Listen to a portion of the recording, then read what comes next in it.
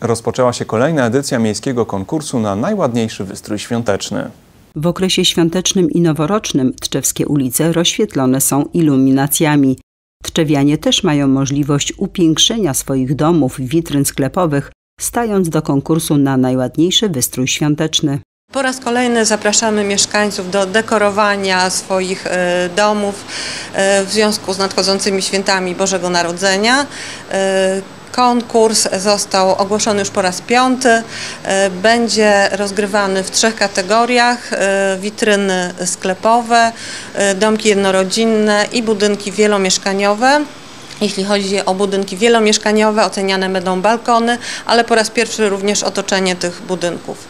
E, na zgłoszenia czekamy do 23 grudnia. E, na początku stycznia e, komisja obejrzy nadesłane propozycje. Trzeba zaznaczyć, że zgłoszenia muszą zawierać aktualne zdjęcie tej iluminacji świątecznej. Zgłoszenia najładniejszego wystroju świątecznego może dokonać każdy mieszkaniec Tczewa, któremu zależy na poprawieniu świątecznej estetyki miasta. Uczestnik konkursu może być nagrodzony tylko w jednej kategorii. Laureatami zostaną osoby, które zdobędą największą ilość punktów, a nagrody wręczone będą na spotkaniu z prezydentem miasta oraz komisją konkursową.